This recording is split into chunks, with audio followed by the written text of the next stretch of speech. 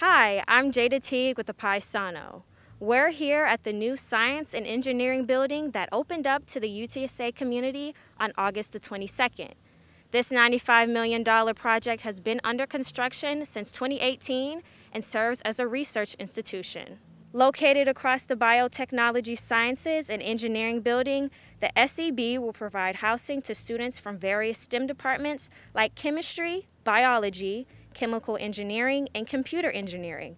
It includes a design studio, machine shop, 3D printing room, and meeting space. The SEB is the newest building to open ever since the North Paseo in 2014 and is now the largest construction project UTSA has ever done. Be sure to read more at paisano-online.com.